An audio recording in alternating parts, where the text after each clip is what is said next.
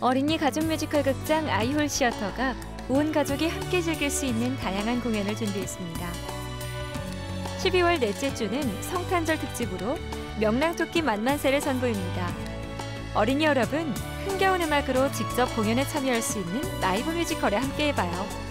명랑토끼 만만세는 친구의 소중함을 알려주는 가족 뮤지컬입니다. 아이홀 시어터는 유니세프, 사랑티켓, 충북문화재단과 함께합니다.